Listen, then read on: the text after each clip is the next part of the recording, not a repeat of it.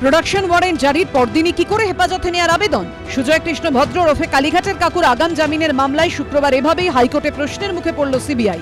এদিনও এই মামলায় কোনো নির্দেশ দিল না আদালত। নিয়োগ দুর্নীতি মামলায় দু হাজার তেইশের তিরিশে মে সুজয় কৃষ্ণ ভদ্র ওরফে কালীঘাটের কাকুকে গ্রেফতার করে ইডি। মঙ্গলবার তাকে ফের আদালতে তোলার কথা ছিল। এই অবস্থায় কালীঘাটের কাকুকে হেফাজতে নিতে আদালতে আর্জি জানায় সিবিআই। বৃহস্পতিবার সেই মামলার শুনানিতে একাধিক প্রশ্ন তোলেন বিচারপতি জয়মাল্য বাগচি। তিনি বলেন, এতদিন মনে হলো না জিজ্ঞাসাবাদের কথা। ইডির মামলায় জামিন পাওয়ার সম্ভাবনা তৈরি হয়েছে বলেই কি ঝাঁপিয়ে পড়তে চাইছে সিবিআই? সেই ধারা বজায় থাকে শুক্রবারের শুনানি তো বিচারপতি বাগচি প্রশ্ন করেন, প্রোডাকশন ওয়ারেন্ট জারি করার পরের দিনই আবার কি করে শোর অ্যারেস্ট দেখানোর এবং হেফাজতে নেওয়ার আবেদন জানালো সিবিআই? এই তদন্তকারী আধিকারিকদের বিরুদ্ধে সিবিআই এর সংশ্লিষ্ট দপ্তর কেন পদক্ষেপ করবে না? সেই প্রশ্নও তোলেন বিচারপতি। সম্পূর্ণ আদালতের বিষয়।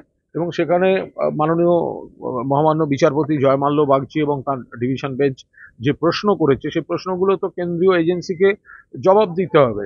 যারাই হোক, এটা আইনের বিষয়, কিন্তু যদি কাউকে আটকে রাখাটা উদ্দেশ্য হয় এবং তাতে যদি কোনো ফাঁক দেখা যায় এবং আদালত যদি সেই ফাঁকটা অবজার্ভ করে কোনো প্রশ্ন করেন, তাহলে তাদের তার উত্তর দিতে হবে।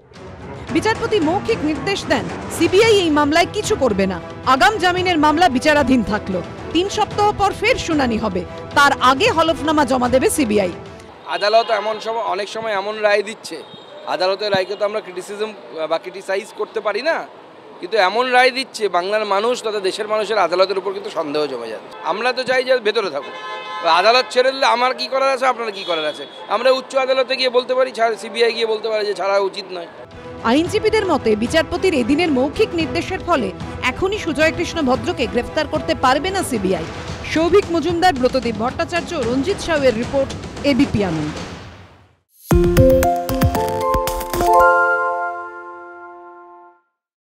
সত্য অন্তহীন।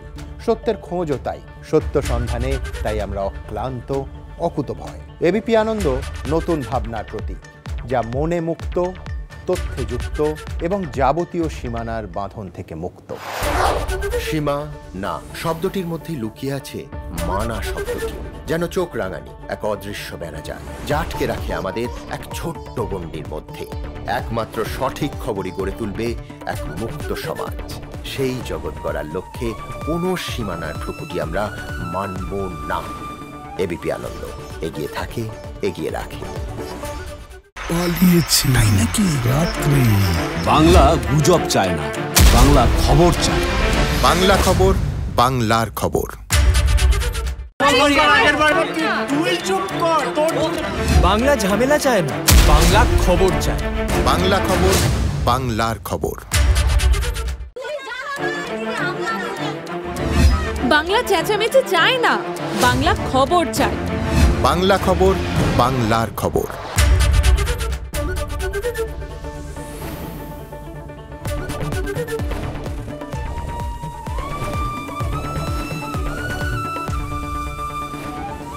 এবিপি আনন্দ এগিয়ে থাকে এগিয়ে রাখে।